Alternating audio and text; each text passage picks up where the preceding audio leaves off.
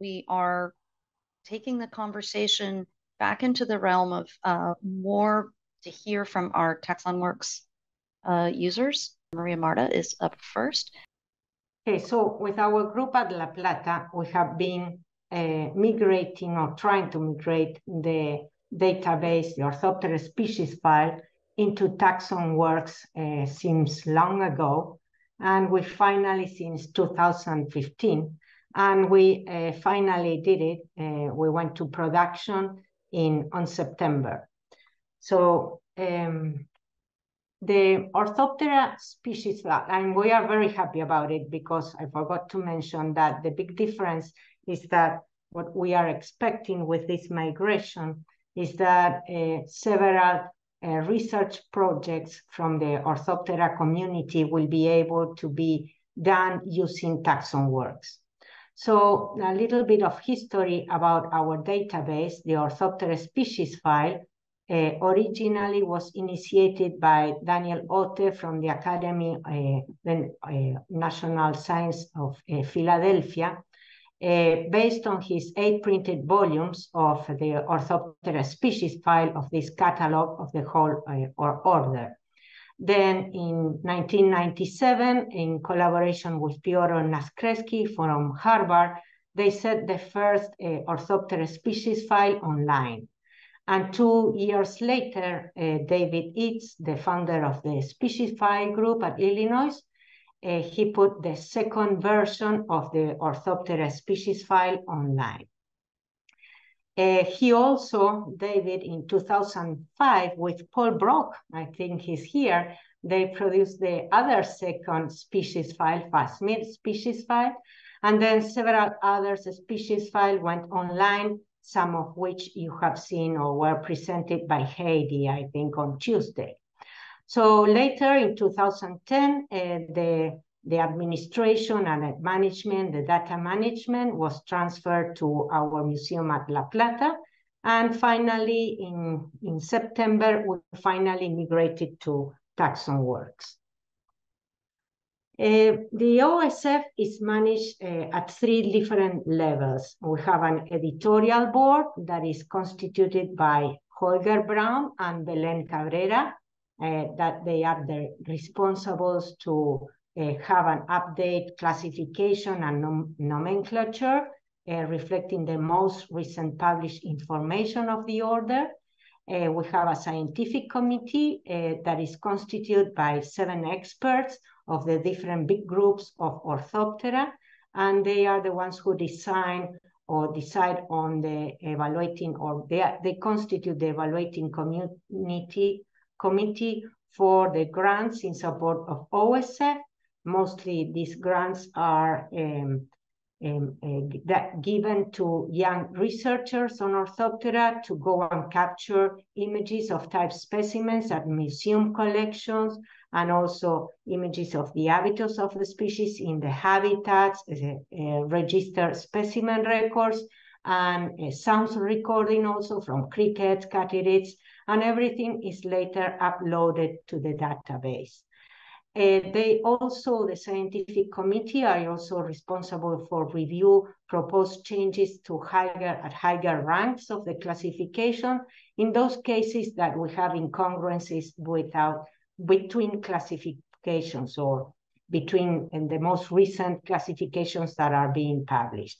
And finally, the data management team that is constituted by Jose and Hernan Pereira at our group in La Plata, and of course, the Species File group at Illinois. Oh, okay, there. Well, we are, as you know, have already seen, um, the Species File group has pro um, produced or developed two products. One is TaxonWorks, that is the software that we use uh, for to curate uh, the database, and the taxon pages, that is uh, what we have we are using uh, to display the data to the public. Uh, Jose has already talked to you about the, the taxon pages and the public view of OSF. In this case, uh, we display, this is um, the a page for taxa, for the genus taxa, where on the right we have smart search for names, and we have this breadcrumb navigation for the hierarchy, and then a tree browser to display synonyms and the descendants, taxa descendants. The nomenclature is being displayed on a, a chronological order timeline, and references are uh, displayed on in alphabetic order. There's also a panel where we display the statistics. In this case, like for instance, there are 12 species, valid species within the genus uh, Zoniopoda. The maps uh, you can uh, show, you can download in Darwin Core format uh, the specimen records information and also if uh, you can zoom into the map and uh, draw a polygon or a square, and then you will see the species that are, for instance, of Zoniopoda that are uh, distributed in, in Brazil, in this kind of Bolivia and Paraguay, these sections or regions of uh, these three countries. Uh, this is an example of the taxon pages of the species, in this case, Zoniopoda crenata, where we display the images and also the gallery of photos are not in order. We have an order in OSF. Now, here is just because this is the overview of what we already, already have. It's like a summary of the data that you can find in our database. We are displaying also in this case, for instance, diagnostic characters of the male genitalia, of the external morphology, etc. A, complete information of type specimens uh, is uh, displayed in the panel for type specimens and also we display in the maps the asserted distribution of the taxa based on references. And in this case, specimen records are displayed in different color, either if they belong to a collection object or a type material. We also have a, a panel to show the external links to websites and also in the case that we have sounds is being shown in, a, in the contents panel. What else? Ah, this is uh, for our community. If we give the first time that we give access, we give it to a practice database, to a sandcastle. In this case, a, um, um, a sandbox that I think that Matt already told told you about. This um, this is because um, uh, we prefer.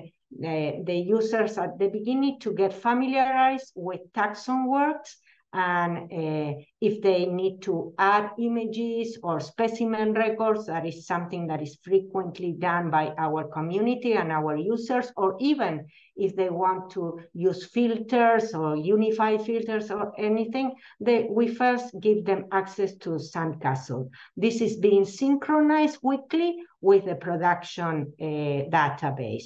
Once they are, we, we haven't reached that uh, moment yet because we have just gone to production on September, but once they told us, tell us that uh, they are comfortable working with the program, we will give them access to the real database. Okay, something is happening. About three minutes. There, three minutes. Okay, also, we are having, uh, we are displaying, I am, uh, we are using TaxonWorks for building matrices. In this case, it's for a genus that has been, uh, its publication uh, revision recently done. And we export it to a TNT for the phylogenetic analysis, and then uh, change, clone the matrix and change some characters and we have done uh, mostly Martina Pocco uh, and also Belen from our group have done uh, or obtained the interactive key. So as I mentioned, we have um, we are supporting our community do, doing workshops. We have done one lately last week in the International Congress of Orthopterology. We have meet, monthly meetings. We have uh, uh, done elaborated or written several software manuals. And as I mentioned before, we have this uh, sandbox pra practice. Uh, we have really extremely good feedback from our Orthopterist community in the last Congress. They really like the powerful filtering and reporting functionalities. We didn't have that before. The, the comprehensive specimen digitization. Also, they really like the import and export in Darwin Core, the occurrence data or everything related to image handling, the matrix handling capabilities, interactive keys and diagnosis, something that we didn't have before. And so we really had great, uh, as I said, uh, feedback for, from our community. So the next steps is continue curating migration errors. We have lots of them still uh, batch load specimen records from main Orthoptera collections, and we'll be starting with barbecue sessions with um, specific objectives, something similar to what Jim has already told you about, doing, trying to um, make or elaborate or develop matrices, collaborative matrices for high-level taxa, uh, with uh, also barbecue sessions with major contributions who will help them to batch load their own images and specimen records data. And I also would like to uh, develop control vocabulary for keywords to tag images, sources, data, attributes, and matrices. So with this, I want to thank you for your attention. Always thank you to David Ritz, the founder of the Species File Group, and the, um, whose um, who make all this possible, and Matt Yoder and the Species File Group for, uh, well, also for developing this excellent taxon works, and to our group at La Plata. Perfect. Well done. Um, thank you, Maria Marta, for giving us that overview. I think it helps a lot, especially people who are new to uh, what Taxon Works does and how what we've been working on at the species file group, uh, the bigger picture, and certainly gives us a wonderful example of how you are building your community and inviting people in to the effort to move that data forward. Thank you. Ah, yes, you can see in the chat already, someone's asking if they can have links to your manuals so we can talk about where those links are. There you go. Matt already put it. Uh, that's another part of our community effort, manual to help the community help each other. So we share that documentation. Next up, John. So this is basically follow up on what Jim Woolley had talked about earlier in the week. I know that seems like a long, long time ago, um, but this has been a sort of a, a big change to go from, uh, I'll explain in a second for those of you who don't know what Paradox is, and then moving to what we have as our new online Chalcidoidea database. Um, and this has been a collaborative effort from a number of different people. And I want to start off with them, which is basically Taxon Works, the Natural History Museum, some funding by the USDA Agricultural Research Service, and a, a team of people that have been helping to put this together uh, in a big way. So one of the things I want to talk about first is a lot of what I'm going to talk about in terms of this online portal, especially is response the responsibility of Roger Burks, certainly not me. Uh, he's one of my superheroes in all of this, and he's taking care of all the background uh, programming and things like that that finally uh, brought this up to a, a sense of reality. Um, the other superhero is John Noyes, which is something that Jim Woolley had already talked about. Um, and he's the one that was largely responsible for putting in the massive amount of data for all of these chalcidoids that were being uh, done with. And he did this using this, uh, I don't know if you can see my cursor there, that little window down there is a view of Paradox. So he basically a simple little desktop program, non-shareable, uh, and he used that to produce this massive database with everything being exported in tables to the web-based version that's held at the Natural History Museum. And I want to say that, you know, one of the things that the community that we're looking at are looking at simple ways of looking at valid names of chalcidoid associates with named taxa, regional lists of chalcidoids, browsing references, taxonomic trees, and associates of named taxa. And this is what we were trying to duplicate and basically make it more available as a community uh, resource. Now, I'm going to use just the associates of named chalcidoids as an example of what we can do and what we aim to be able to do with this uh, database. This is what we get out of the Universal Chalcidoidea database, which is a really nice list of things which are organized as far as I look up the associates of a, an ant parasitoid Eucharis ascendens, and I get a list of by Hymenoptera, what are the ants that are associated with and what the references associated with. It's a really nice way of presenting it. Oh, that's just me.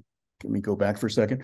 I also want to note down here, we have the PDF, which John has gone through and vetted all of the uh, references and citations that he's put in that have a PDF uh, available to be exposed without copyright uh, potential. And I think this is a, a, really great resource to be able to have. And I want to mention too, is that all the time that John Noyes was putting all this data in, he was also scanning every single PDF at high resolution so he get all the images at their highest quality that he, he could do in the database. So then, you know, and this just shows that he's got things also separated between what are the insects and what are the plants, so you can look at plant associates and, and sort of organize how things are coming up with. So keep that in mind for later views. So this is, everything was migrated to the Universal Chalcidoidea database, and this has been a historic effort on the part of Matt Yoder, Dimitri, uh, Deb, and everybody else at, at Species File and Taxon Works to get all this uh, stuff in there. So we have a, a very powerful, but also a complex tool. It's housing our 27,000 valid species got things like 120,000 host records, 140,000 distribution records, and all of the associated PDFs that go along with it. So I can do the search again for its Eucharis ascendens, and this is my nomenclature. I can go to the OTU page, and moving down further on the OTU page, this is what I get for looking at the associates. Um, I got to admit, this sort of makes me, you know, always go into a little bit of catatonic fit when I look at this. Uh, I can sort it out. I can get the information that I need, but it's it's in a fairly complex way. I can download it as CV, CSV files and, and whatever I need to do with it, but it is a complex uh, sort of interface. So, and then there's basically some issues with simplicity of asking people to come in and look at this. So this is my first attempt at looking at biological associations for Eucharis ascendens. Uh, and when I got no associate returns, um, you know, this is just, you know, vexing to me. So I go to my next superhero, which is Jim Woolley, and I go back and I look at, okay, so what do I do wrong? And what it turns out is I had not circled or clicked the subject box when I was looking at these associations. So I was getting no records returned. I just needed a simple little fix. And I think this is, Jim said, it's, it's in part an error here because I did have both uh, was the default option uh, that should have come in. But I just give this an example of I want to take somebody who is a biocontrol researcher and stick them into this database and have them go search around and find. Everybody's going to be going to Jim Woolley and asking him to figure out what they're doing wrong and how they can get their answers back.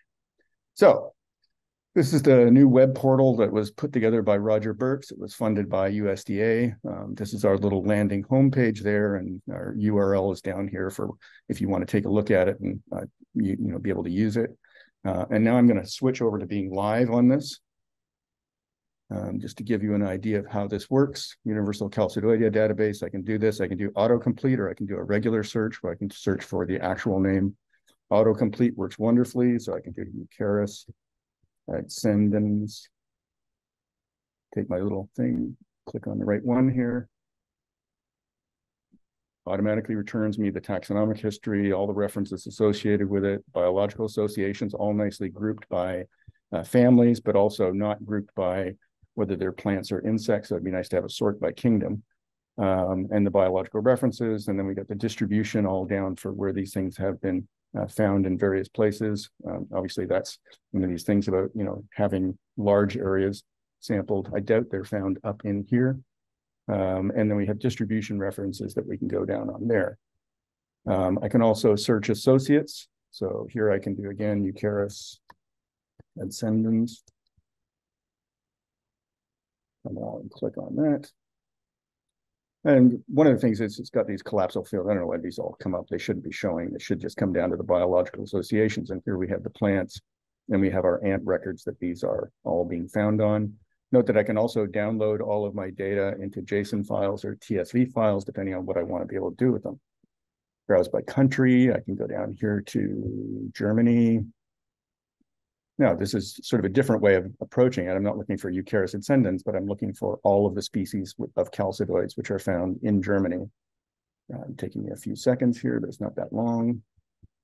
And I can drift down here and find my, sorry, trying to make everybody dizzy. A lot of species known from Germany. Yeah, somewhere here, pass it. Eucharis ascendens takes me here and I can go back to my taxonomic history for that one particular group. Um, taxonomic tree is a really useful thing. I can come down here again and, and just come down. It's got all these are basically linked by APIs to taxon work. So it's as current as we can potentially get here. Um, I can look at eucharitids. I can come down here and float through that, come to Eucharitini. And then this will give me all of these of which I could also find my taxonomic history uh, for that from my Eucharis ascendens. I don't bother with doing that. I can also do my searching references and I can do Fabricius. Okay. My search. And this comes up and I can find my where Eucharis ascendens was described here. I can copy my BibTeX file. Notice there's no PDFs which are being exposed over the web because that's basically the policy at the moment. So that is my brief introduction. Um, I do want to say for those that really want to see this, this is all the code that Roger's put in behind it. Um, it's completely unreadable to me, but you know, I just thought I'd show it to you to make you happy. Um, and then summary of what we need, we need PDF exposure. And I really think that TaxonWorks needs to figure out anything older than I think the copyright year is 1940 or 1937. Anything older than that should be made uh, open access and available. Um, so, and also including listing all the open access journals. That would be like a first step. Uh, it's important this older and harder literature that John Noyes has gone back and scanned all of this. It's particularly difficult to find, uh, and that could be just made available to everybody in the community. Um, for recent literature, I like Heidi's idea earlier of adding DOIs, uh, of course, for people that can't access those institutions or can't access the, the rights to those PDFs. It's a bit more difficult. We want it to be available to all. Um, it would be good if we could get things associated by, uh, sorted out by at least kingdoms, uh, plants and animals. That refers to our webpage and TaxonWorks. Uh, need a search for parasitoids. This is something actually I looked started looking at and realized we don't have a search for the parasitoids of a particular host. So if I look up uh, Ceroplastes or something like that, I want to know what the hosts are. Um, we need to adopt many of the new tools that we've seen this week. Obviously, I feel like this is almost old and out, so it is old and outdated for a lot of things. Uh, and if we can find sources of funding for upgrading this, it'll be great because Roger Burks is doing this currently out of his own, uh, you know, uh, very best interests of his own personal time. Um, I also want to uh, emphasize what Jim Woolley had said. We have a whole bunch of TaxonWorks, uh, other superheroes back here that are helping to update all of this. And again, all of this stuff is directly available through the, because of APIs. It's going directly to the public web portal and being made available. And again, thanks for everybody that's in, uh, involved in this, including Dimitri and Matt and Deb and everybody else in TaxonWorks. And that's it. So, any questions? Thanks, John. Uh, this is Jim Woolley. Thank you for the kind words. Uh, I, I, don't think it's the first time anybody's ever called me a superhero, so makes my day. Uh, you, you, can do the, uh, the the chalcidoid parasitoids of a particular host. You can do that search on the taxon work side. Then yeah. you you would click the object. So we need to work to get that in because for biocontrol people, that's probably the single most important. You yeah. know that geographic distributions of, of things. So. Yeah. I think it's just the everything. You, I mean, the power of TaxonWorks is amazing, and and I've you know I keep no getting because I'm not doing something, and then I need to have somebody tell me to you know click the little button or box or something like that. But I use it for different purposes. Of you know, I didn't want to go through all of the thing, the great things that it can do uh, in terms of the the powerhouse side. Uh, but certainly, you know, I'm trying to think about everybody out there that doesn't want to try and figure out how to use it, and they want to get things simplistically uh, delivered.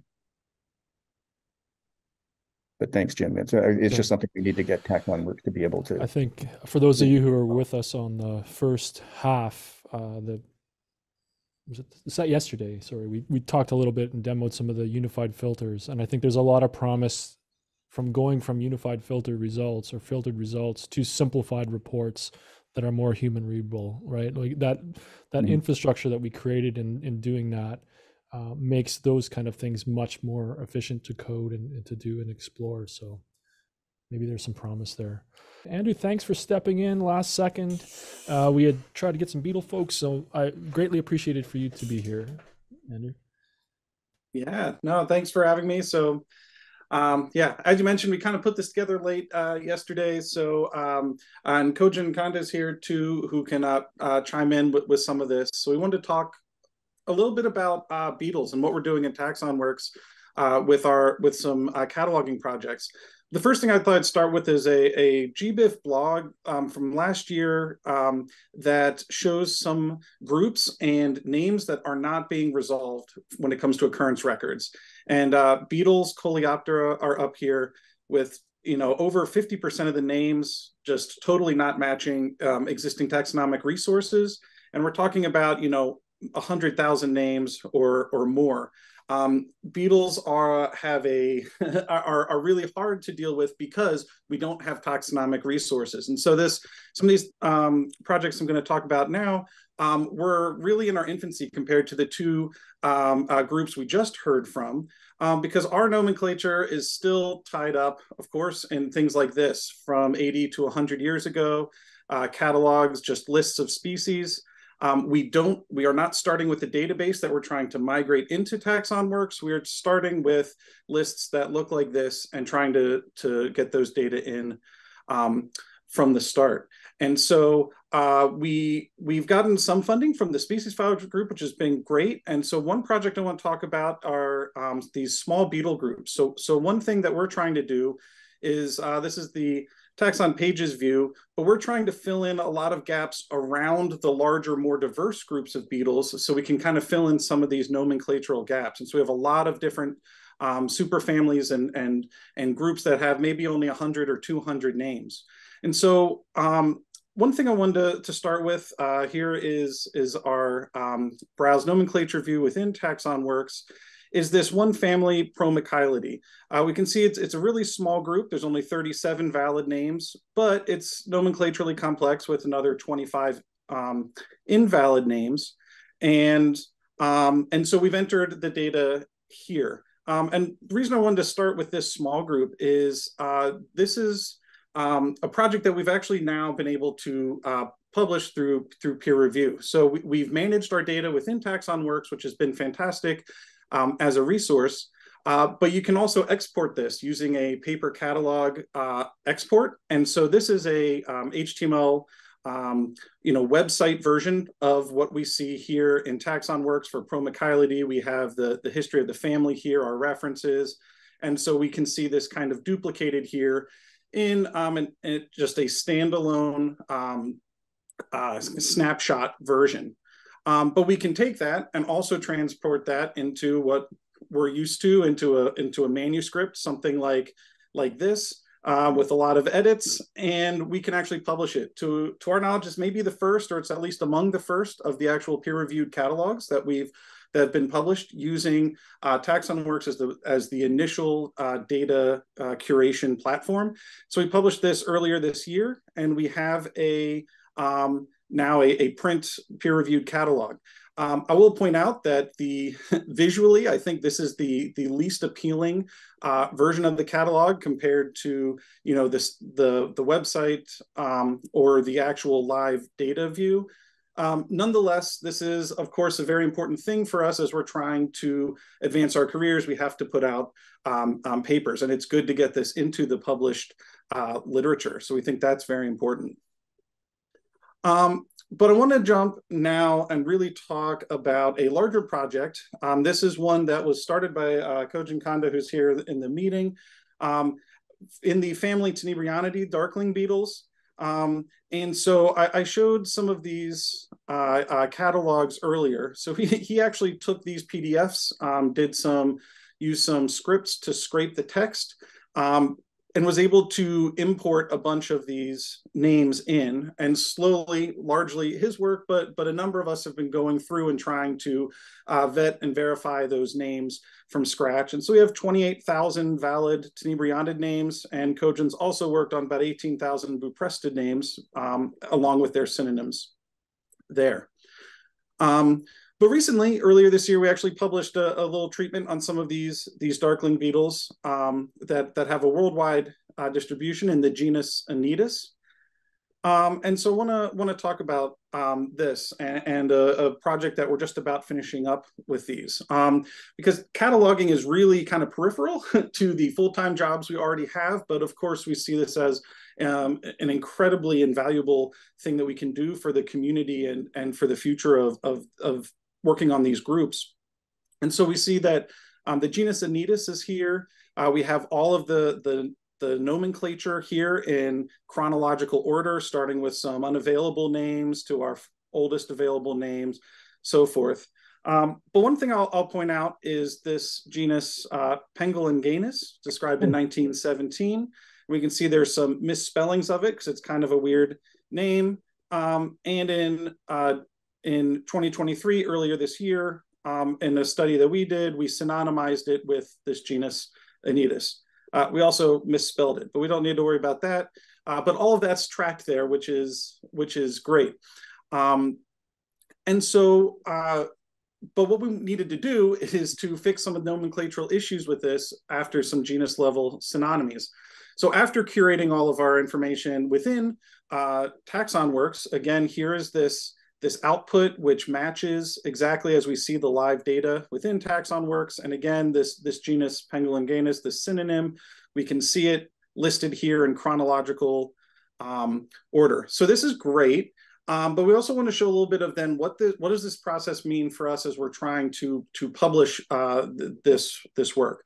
The other format that you can export from TaxonWorks is, is this ASCII encoded um, document, which looks something like this. It's, it's kind of like a markdown file where you can kind of see there's some, um, there's some char characters here that indicate formatting. Through some command line uh, scripts, you can then um, get that from uh, your ASCII doc to a Word document. And so now we have a, a catalog that is a little bit more um, in line with what we want to do. Again, we can see um, this issue here of Anitys with a uh, the synonym Pengulinganus, and we see all the chronological information. Um, so then for us, we've also found that there's a ton of work after we export these trying to move to publication. Because in the end, we actually want an entry that looks, you know, something like this for print, which is um, uh, the the single name with the um, synonymy here. Uh, also, um, uh, we needed to shrink down author names, things like that. And uh, there's actually several Pic 1917 names that we need to add um, uh, A, B, and C to for the different publications from the same year. So after further revising, we can get to a manuscript that actually looks um, something like this which we're now um, excited about um, uh, trying to submit for publication probably later uh, this week.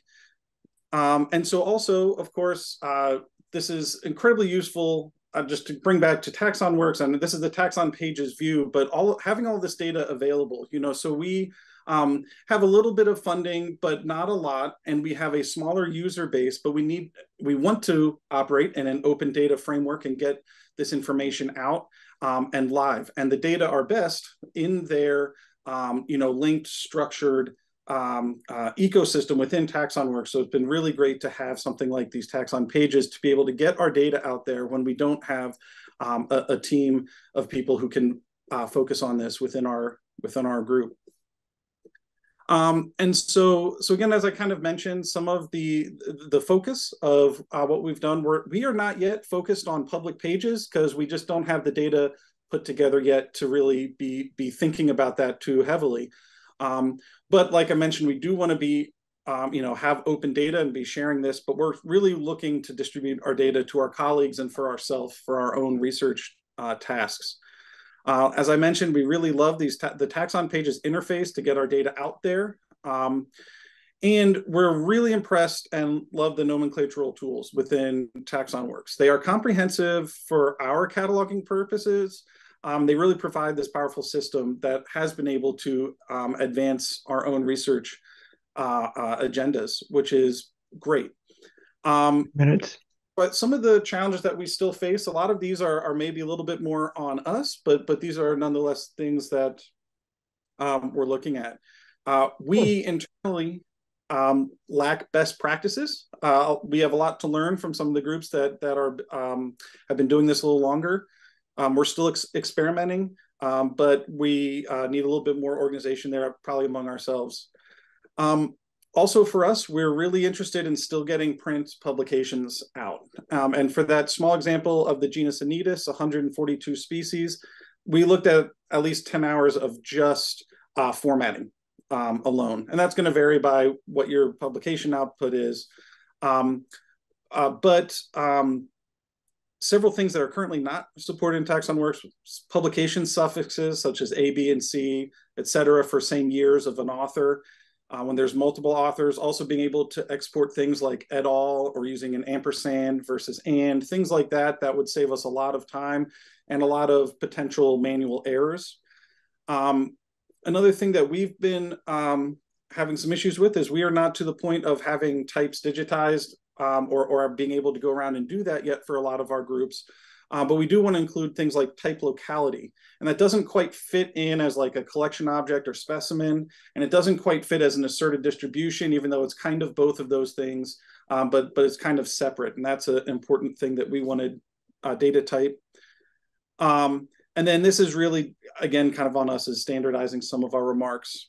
Um, and we really hope to be able to push subcomponents of these catalogs to, to catalog of life and beyond and some of that functionality may may be there, but um, we we haven't um, been able to to tackle this as a as a whole group yet. But we're trying to tackle this in chunks since it's such a large problem, and so that's um, some of what we uh, face moving forward. And um, happy to try to answer any questions if there's any time left.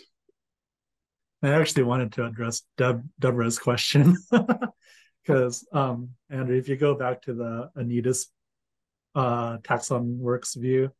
So that paper that um, we're getting ready to submit, that was actually triggered by TaxonWorks, where we didn't enter all of this data while we were um, putting together that first manuscript. This was afterwards.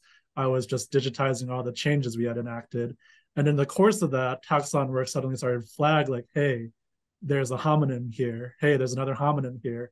And it turns out those were things that we hadn't accounted for in our first paper, which triggered us to have to then write the second paper, kind of addressing all the that and the issues we had. So in turn, no, so this was that was a perfect case of TaxonWorks being an actual like discovery platform for us. So it would be good to hear more about that. So for those of you who are seeing in the chat, what I had asked is have the pages, the public pages, or your private version that you built, Andrew, you showed us a quick sneak peek. Have they helped you see the data or things that you need to address? And so yes. Kojun was giving us a concrete example. Especially when you're dealing with these data sets where, you know, like we're basing our initial data off of 1930s catalogs and then trying to synchronize that with 2000 regional catalogs with nomenclatorial changes. Like, yeah, all the all the nomenclatorial checks that TaxonWorks has been crucial for that.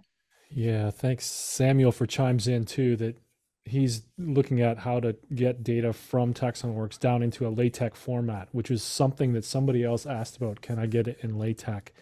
Um, yeah, Samuel's been a saint. He's at he's been wanting some some new um, geospatial data, and he's been experimenting with those early uh, API endpoints. I I'm curious maybe for discussion afterwards in the unconference. and I know Kojun consumes the API as well. What we could do at the API level.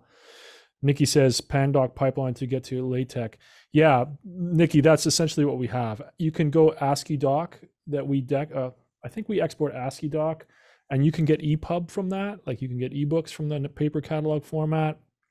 Um, and I think there is a two LaTeX there what you're seeing, I think, if I can answer for Andrew and, and Samuel, is that there's a need for sort of specialized rendering, like year letters and abbreviations and stuff. And what we're we're we have is a process where we can get people maybe I don't know, Andrew, 80% of the way there, sort of, from these highly atomized data to human readable. But then there's still this process where we need to be able to tune it for publication, serial needs, and that kind of thing. And uh, yeah. I wish rendering would go away as a problem and we would just be happy with how people look and things look and everything else. But it seems like there's still a lot of, uh, of, of polish that has to happen. And I might add there, so I think one thing that we're concerned about is scalability with this. Again, we love mm-hmm. that the mm-hmm. data live in TaxonWorks, and that's where we use it primarily. Uh, but we think it's still really important to get you know versions of these out there and and and put into the the uh, kind of literature. And uh, so right now we're doing things in the hundreds of species level, but what do we do when we scale that to to five thousand or six thousand? And um, you know, this it's certainly better. I think we've we've eliminated a lot of mistakes we would have made if we had been just data entering into a Google Doc, you know. But um, but there's still a lot of formatting and moving around that had to happen afterwards, and we're worried about making mistakes there too. So I think I think one of the take homes is that we really need to encapsulate your aha moments. You did the hard work of where we need to get at the next level. So um yeah, and and and we we essentially need to be able to compute your letters on the fly based on the references. We've known this, and and we could truncate styles, etc., on the fly as well. And we can add whatever CSL styles you want to the system. We can render out references in three thousand different formats, but we've also created our own reference formats. And so, if you guys came up with a CSL style that did that truncation, it would automatically, you know, work in terms of getting those references exported in different ways, etc. So some of the things you mentioned, I think we can we can handle. Um, just just a matter of of knowing that you guys are at that point where you're wasting hours doing this stuff. We got to fix that for you by days on our side, and then it's fixed for everyone, kind of thing. Yeah, and yeah, we like we understand sort of like pages, you know, like everybody has their own unique style. So, you know, I keep harping on this, but just your heavily annotated scripts help mid-level users like me. So um if you know just sample samples of well-documented code would be Yeah, would be helpful. a useful tool. Yeah, Uh, thanks, Coach. And we we haven't actually shared that. Like, there's a we started a repo where we started sharing TaxonWorks code script. Maybe we can share that GitHub repo here in a second. Uh, we need to do a better job of of sharing that kind of annotated code and and sort of building up that ecosystem. Jeff Orr reminded us that we still don't have a we we wrote wrappers around a bunch of external APIs. But there are no official wrappers on TaxonWorks APIs, and that will happen by the time the next TaxonWorks together happens. So um, we can we can help move things forward with our own code contributions in that regard. Dimitri says, "Do we use style when we render the actual citation, not the list of references?" Uh, good question, Dimitri. We use we know we're just using cached author year, which is going to come from the TaxonWorks style. I think. I I, I, I- I think um, I think that's what we're doing when we render the short citations, essentially.